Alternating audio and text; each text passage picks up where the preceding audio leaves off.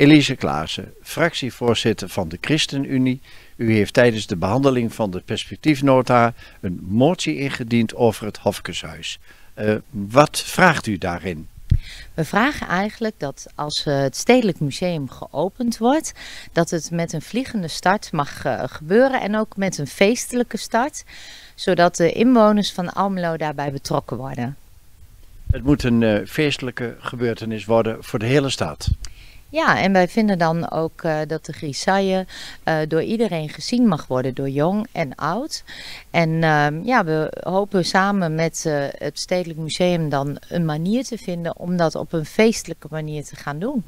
De motie is aangenomen door de Raad. heeft u al ideeën over hoe een en ander vormgegeven kan worden?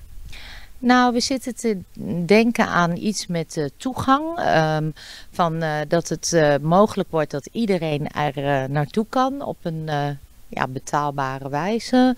Of dat het museum iets anders aanbiedt. Um, maar het kan ook iets heel anders zijn. Want de wethouder zei eigenlijk: ik wil wel de vrijheid houden om ja, te gaan kijken en te gaan overleggen hoe we dat gaan doen. Dus het is eigenlijk heel creatief hoe dat kan.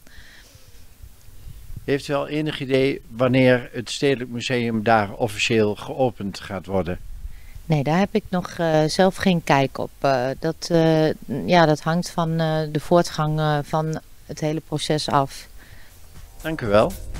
Graag gedaan.